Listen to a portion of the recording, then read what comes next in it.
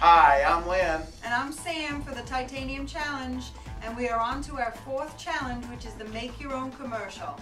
You've all seen our commercials online and on TV. You do whatever you'd like.